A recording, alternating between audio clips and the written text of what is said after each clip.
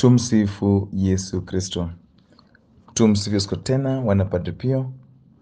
Tunashukuru Mwenyezi Mungu kwa siku ya leo. Tunamshukuru Mwenyezi Mungu kwa baraka ambazo anazidi kutujalia. Tunaendelea kumtumainia Mungu, tunaendelea kusali, tunaendelea kuweka imani yetu kwake Mwenyezi Mungu. Tunaenda kupata somo siku ya leo kutoka Injili ya Mathayo. Tutasoma sura ishirini na nane mstari wa kwanza hadi wa kumi. Baada ya Sabato, karibu na mapambazuko ya siku ile ya Jumapili, Maria Magdalene na yule Maria mwingine walikwenda kutazama lile kaburi. Ghafla kukatokea tetemeko kubwa la nchi. Malaika wa Bwana alishuka kutoka mbinguni, akalivingirisha lile jiwe, akalikalia. Alionekana kama umeme na mavazi yake yalikuwa meupe kama theluji. Walinzi wa lile kaburi wakatetemeka kwa hofu kubwa, hata wakawa kama wamekufa. Lakini yule malaika akawaambia wale wanawake, nyinyi msiogope, najua kwamba mnamtafuta Yesu aliyesulubiwa. Hayupo hapa, maana amefufuka kama alivyosema. Njooni mkaone mahali alipokuwa amelala. Basi nendeni upesi mkawaambie wanafunzi wake kwamba amefufuka kutoka wafu, na sasa anawatangulieni kule Galilaya, huko mtamwona. Haya, mimi nimekwisha waambieni. Wakiwa wenye hofu na furaha kubwa, hao wanawake walitoka upesi kaburini, wakakimbia kwenda kuwaambia wanafunzi wake. Mara Yesu akakutana nao, akasema, salamu. Hao wanawake wakamwendea, wakapiga magoti mbele yake, wakashika miguu yake. Kisha Yesu akawaambia, msiogope, nendeni mkawaambie ndugu zangu waende Galilaya, na huko wataniona. Injili ya Bwana wetu Yesu Kristo. Tumsifu Yesu Kristo. Tumsifu Yesu tena, wanapata Pio.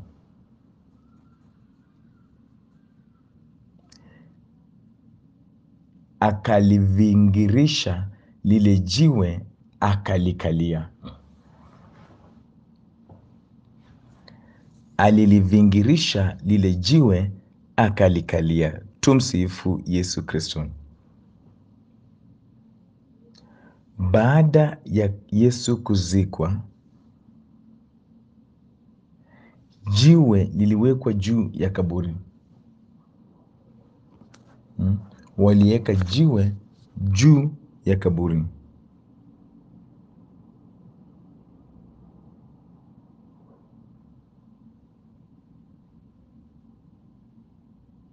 Hmm. Ukisoma Injili ya Mathayo ishirini na saba mm, sitini 60p kisha akavingirisha jiwe kubwa mbele ya mlango wa kaburi, akaenda zake, kwamba jiwe liliwekwa mbele ya kaburi, ya mlango wa kaburi Yaani huwezi toka, umefungiwa ndani, umezuiliwa ndani. Tumsifu Yesu Kristo. Kile ambacho kinakuzuilia ndani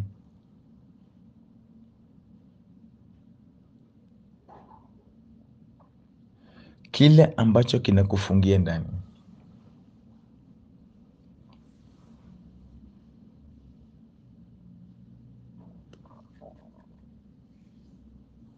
Mungu ni, ni kama jiwe, yaani kimewekwa hapo kukuzuia upiga hatua katika maisha, upiga hatua katika maisha yako kusonga mbele. Hilo jiwe limevingirishwa na kuwekwa juu yako kwa sababu ya hiyo.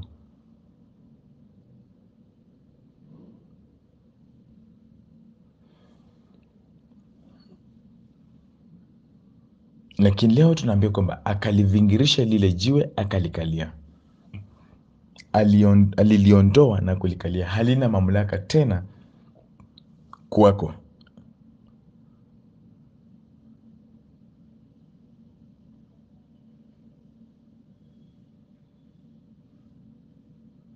Chochote ambacho kilikuwa kinafunga maisha yako hakina mamlaka kwako tena.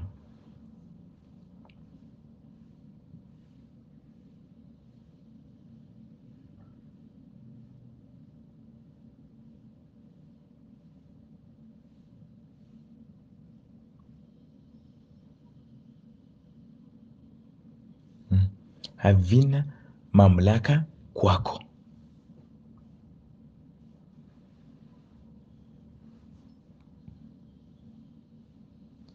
Malaika alishuka na kulivingirisha lile jiwe, halitazuia kazi ya Mungu kutendeka. Jiwe lilisukumwa na wanadamu, yaani ratiba zote za wanadamu za kukuzuia wewe kupiga hatua zinaondolewa. Amen.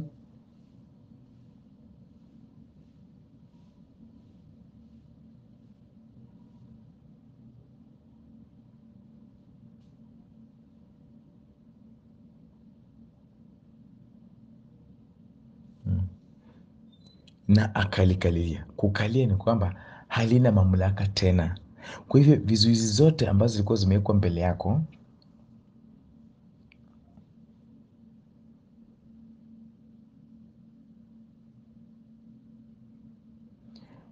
kukuzuia hati usifufuke, usipige hatua, usonge mbele, hizo vizuizi zote zinaondolewa. Amen.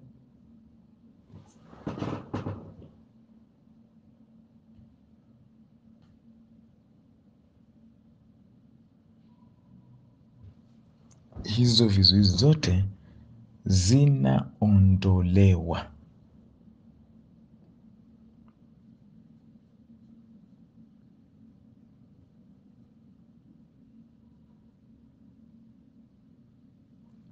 Zinaondolewa na hazitakuwa na mamlaka kwako tena. Kwa hivyo chochote ambacho kilio kinakuzuia usipige hatua katika maisha, Mungu anaziondoa. Tumsifu Yesu Kristo. Mungu mwenyewe anaziondoa.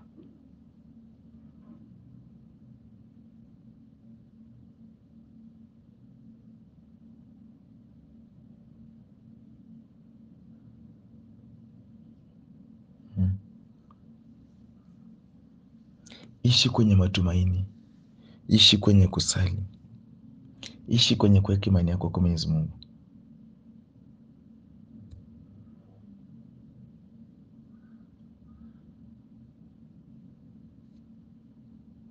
Unaposali, unapoweka matumaini yako kwa Mwenyezi Mungu, Mungu mwenyewe atakuongoza, Mungu mwenyewe atakutetea na atakuondolea aina yote ya vizuizi, aina ya chochote kile ambacho kingefanya maisha yako isisonge mbele.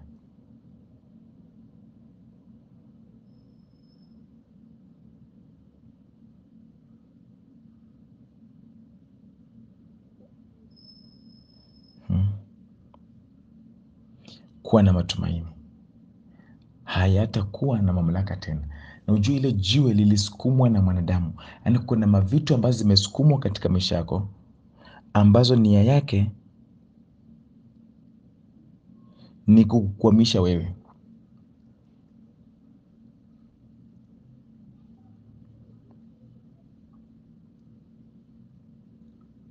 nia zake ni kufanya ubaki hapo kwenye uko.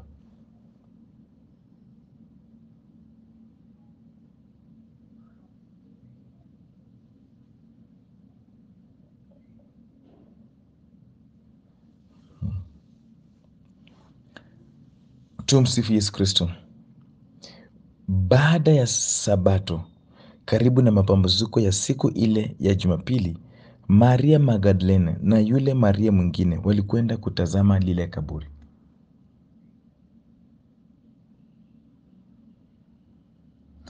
Kwa sababu ya mahusiano mazuri walikuwa naye na Kristo,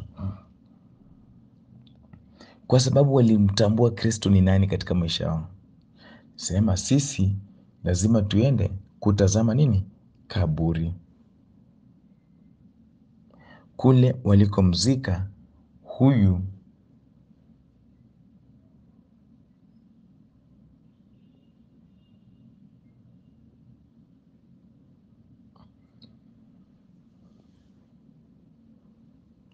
tuende tutazama kaburi kule walikomzika huyu nani? Kristo. Tuende tutazama.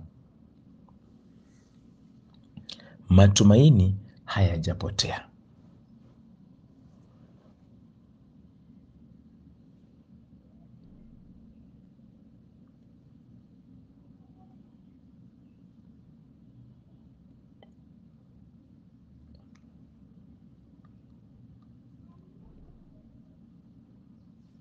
Matumaini hayajapotea. Huyu ambaye amezikwa makaburini alikuwa mtu wa umuhimu katika maisha yetu.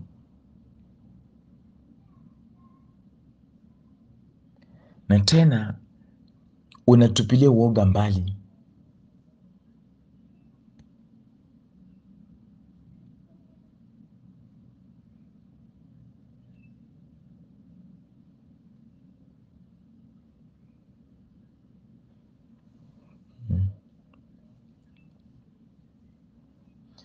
Mwanapadri pia usikate tamaa.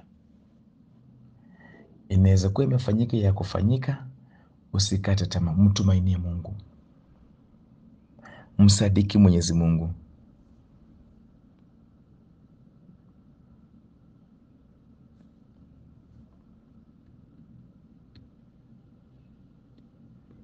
Wacha Mungu akatende katika maisha yako.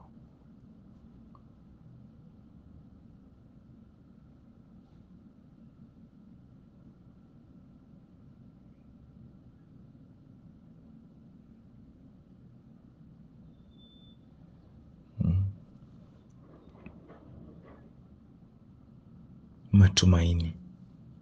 Mara nyingi tunakata tunakata tamaa. Usikate tamaa, kuwa na matumaini. Nenda hata hapo kwenye kaburi.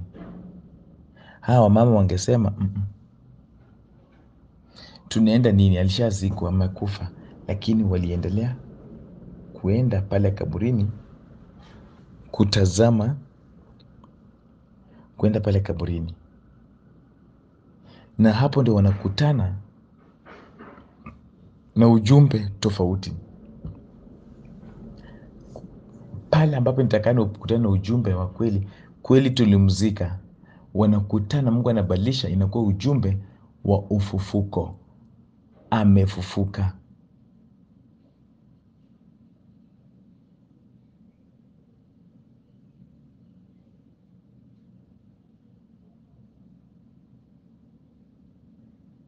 Hmm. Ujumbe umebadilika.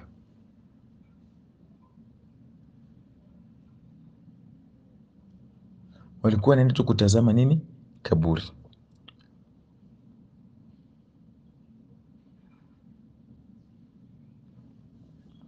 Wanakutana na ujumbe tofauti.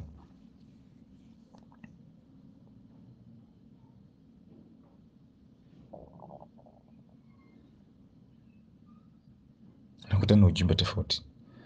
Ghafla kukatokea tetemeko kubwa la nchi. Malaika wa Bwana alishuka kutoka mbinguni akaliviringisha lile jiwe akalikalia.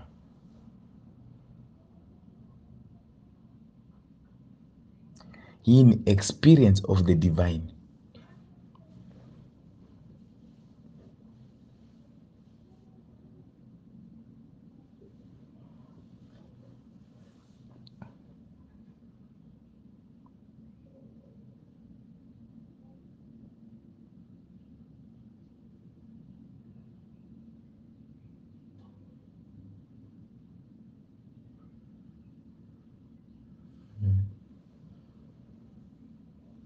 Malaika Bwana alishuka. Naomba Mungu, Mungu na akatutumia malaika wakashuke katika hali zetu, kule ambako tumewekewa jiwe, kule ambako mambo yani tumewekwa kwenye hali ambayo haitawezekana kikawaida kibinadamu. Mungu na akatuma malaika akatuondolea lile jiwe.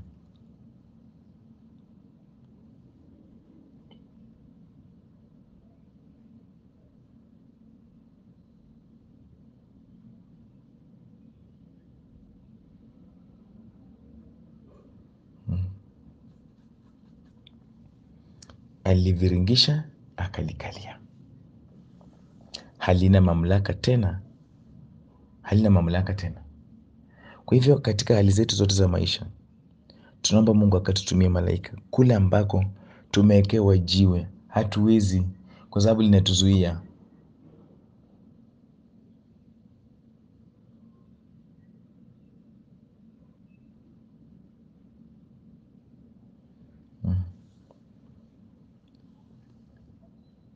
Malaika alikuja kutoa jiwe.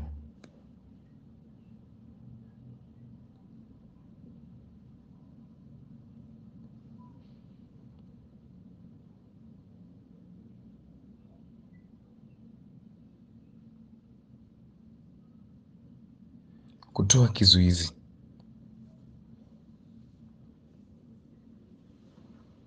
Kutoa chochote kile ambacho kingezuia ufufuko.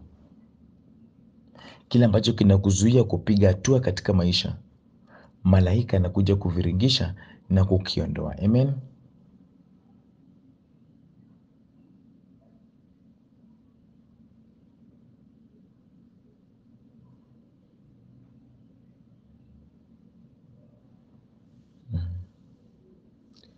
Vizuizi zote hazina mamlaka juu yako. Ndio maana malaika amelikalia.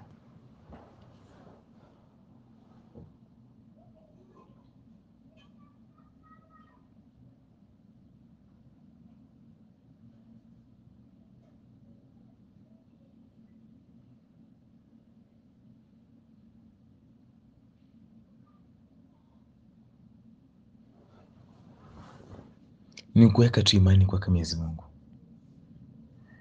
Ni kujiachilia kwake Mwenyezi Mungu. Ili huyu Mungu aweze kutenda.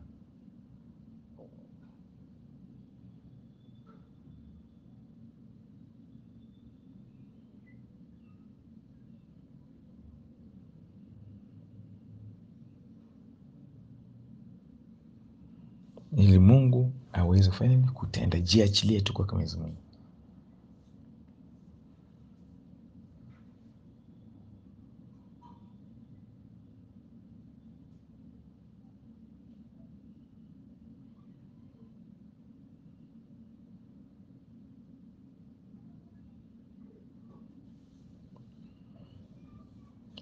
Alionekana kama umeme na mavazi yake yalikuwa meupe kama theluji. Kweli huyu alikuwa malaika wa nani? Wa Mungu. Angalia vile Mungu anatuma malaika wake kwa sababu yangu, kwa sababu yako, kwa sababu yetu sisi wote.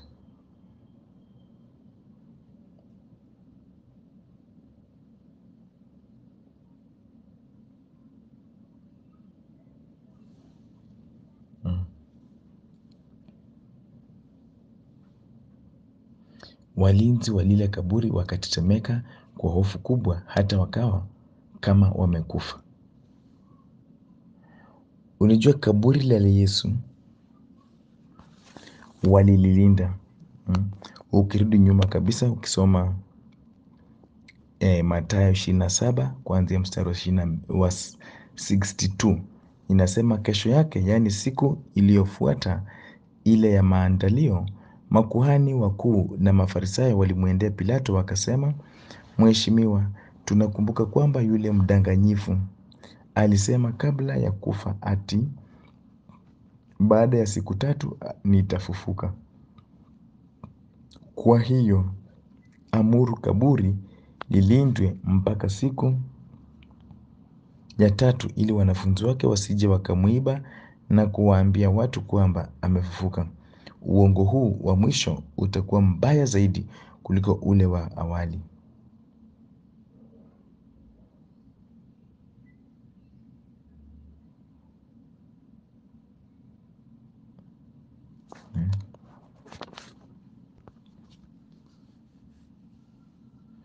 Pilato akawaambia, uongo huu wa mwisho utakuwa mbaya zaidi kuliko ule wa awali. Pilato akawaambia, haya mnao walinzi, nendeni mkalinde kadiri mjuavyo. Basi wakaenda wakalilinda kaburi, wakatia muhuri juu ya lile jiwe na kuacha hapo askari walinzi. Tumsifu Yesu Kristo. Kwa hivyo hata walinzi walikuwa hapo wanafikiria kwamba like wakiona Yesu anatoka kwenye kaburi wamsukumia ndani hadi arudi ndani. Hauwezi ukazuia ratiba ya Mungu.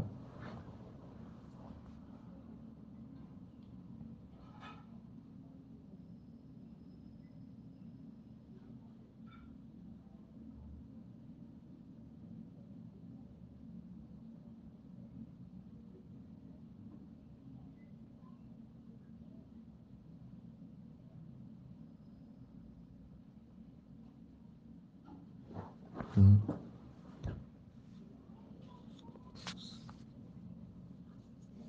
Walinzi walikuwapo kuzuia, lakini nini ilifanyika?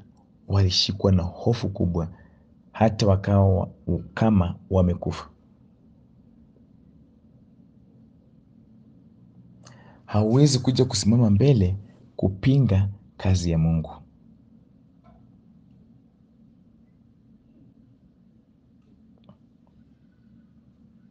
Hauwezi kuja kusimama mbele kupinga huduma yake Mwenyezi Mungu. Kazi ya Mungu lazima iendelee. Hata askari wanaposema ati wanalinda kaburi, oh Yesu asitoke, oh sijui nini, wanapoteza wakati wao, wanapoteza muda wao. Kwa sababu gani? Kazi ya Mungu sasa kwanza wanakuja kulinda kimwili hawezi wezi pambana na Mwenyezi Mungu. Kwa hivyo Mungu mwenyewe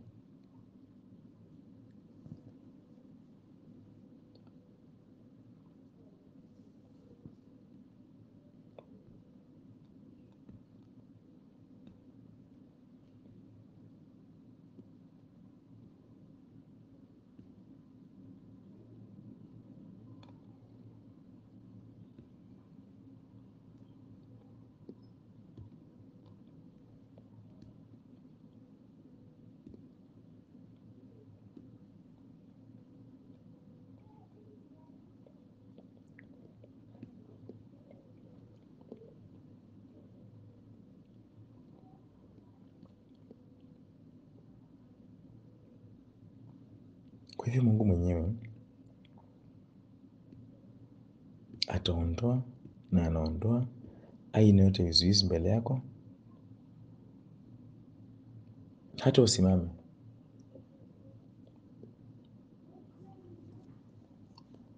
Kutaka kuzuia kile ambacho Mungu amepanga kifanyike,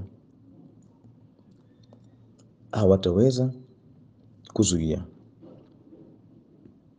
hawataweza kuzuia.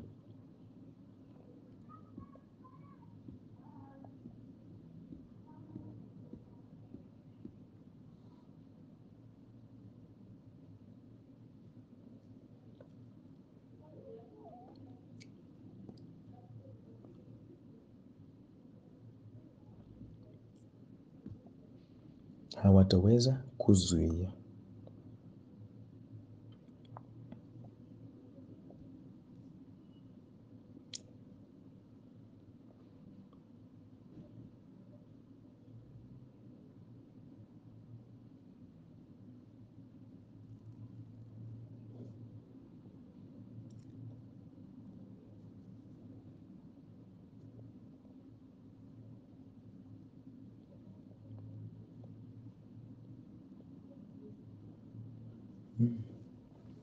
Hawataweza kuzuia.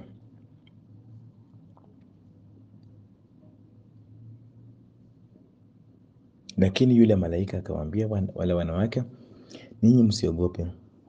Nyinyi, mimi na wewe usiogope. najua kwamba mnamtafuta Yesu aliyesulubiwa. Hayupo hapa maana amefuka kama alivyosema. Njooni mkaone mahali alipokuwa amelala. Kuna ushahidi. Hatujiekelei hizi vitu, kuna ushahidi. Njooni mkaone mahali ambapo alikuwa analala. Ni hapa.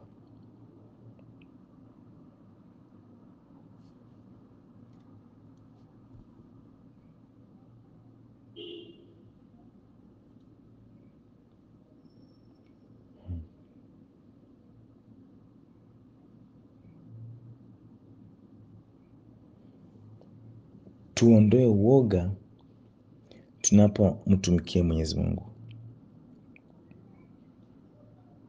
kwa sababu imani yetu tumeiweka kwa Mungu na tumeiweka kwa Mungu kabisa. Hatuna mahali pengine ambapo tunaangalia, tunaangalia kwa Kristo. Nimeweka imani yangu kwa Kristo, umeweka imani kwa Kristo, sisi wote tumeweka imani kwa Kristo.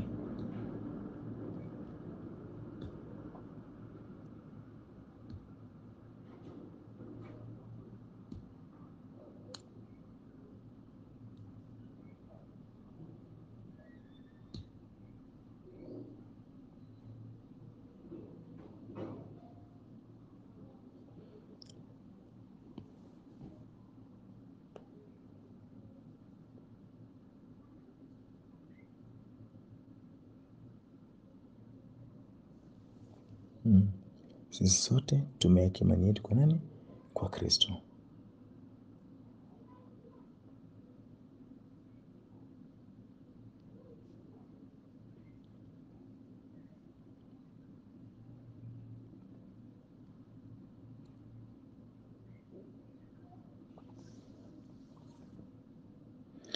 Ni, basi nendeni upesi mkawaambie wanafunzi wake kwamba amefuka kutoka wafu na sasa anawatangulieni kule Galilaya, huko mtamwona. Haya, mimi nimekwisha waambieni. Sasa hawa mama wanakuwa sasa watu wa kubeba ujumbe wa Kristo mfufuka, wapelekee kwa watu wengine.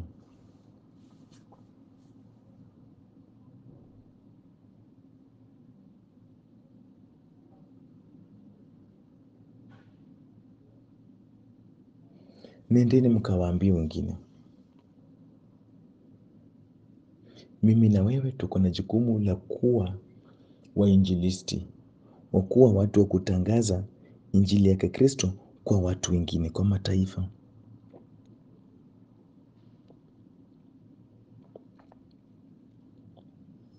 Mm.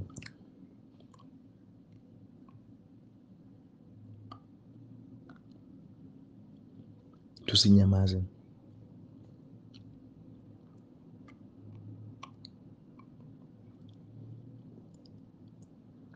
Tuitangaze kwa maneno yetu,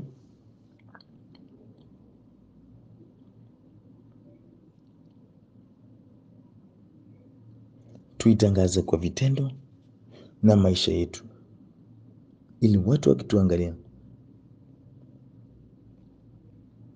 wasadiki kwamba Kristo amefufuka.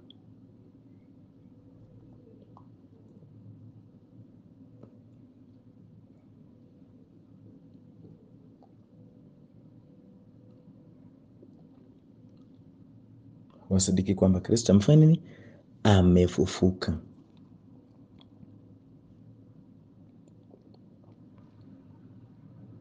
Kristo amefufuka.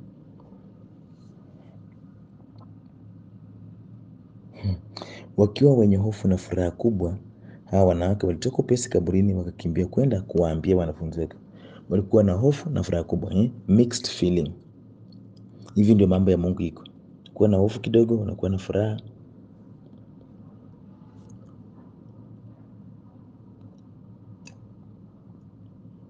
Hmm. Anyway, tuombe Mungu siku ya leo akalivi, akalivingirishe lile jiwe na alikalie. Aina yote ya kizuizi kwa kile ambacho Mungu ameweka ndani yetu, Mungu akafanya nini? akakiondoe. Tuombe. Kwa jina la Baba na la Mwana na Roho Mtakatifu, katika jina takatifu la Kristo, Mungu nakushukuru kwa siku ya leo. na kushukuru kwa watoto wako na kwa nsomo ambalo umetupa. Jiwe liliviringishwa, jiwe likiashiria kizuizi.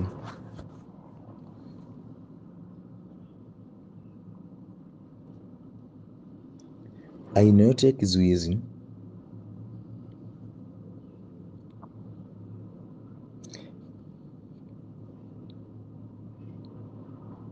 kutaka kuzuia mapenzi yake Mwenyezi katika maisha yako, Mungu akakiondoe, Mungu akaviondoe.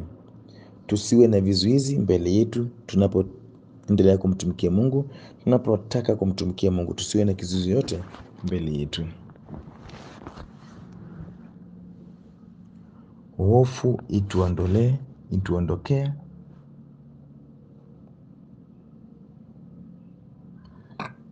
Tuweze kusimama imara na kuhubiri Injili. Tuweze kusimama imara na kutangaza kuhusu Kristo mfufuka.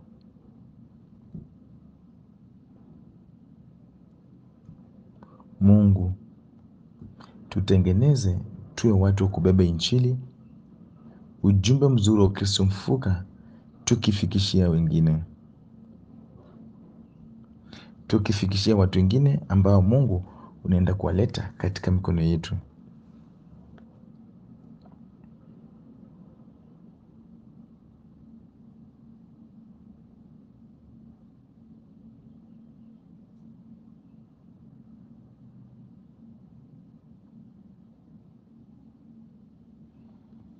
Damu ya Yesu iendelee kufanya kazi.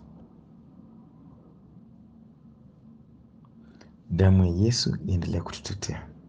Ninawaombea nyote, hata na mahitaji yenu yote, naomba Mungu aweze kuyajibu mahitaji yenu yote ya kimwili, ya kiroho. Mungu mwenyewe aweze kujibu.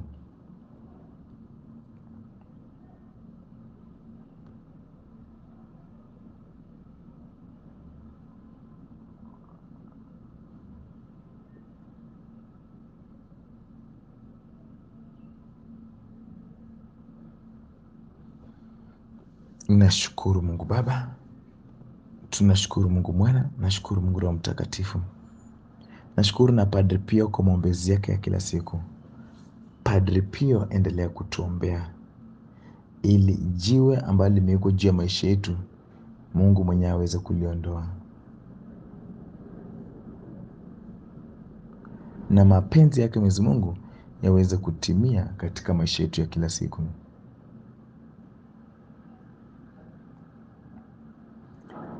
Mama Bikira Maria, endelea pia kutuombea. Pokeeni ulinzi na baraka nyingi kutoka mikono zake Mwenyezi Mungu. Naenda kuwabariki. Bwana awe nanyi, awabariki na kuwalinda Mungu Mwenyezi, Baba na Mwana na Roho Mtakatifu. Tumsifu Yesu Kristo. Asanteni sana wanapadre Pio. Mungu azidi kuwalinda, Mungu azidi kuwakinga na mabaya yote ya shetani. Mubarikiwe. Ni Fadhaga. Tumsifu Yesu Kristo.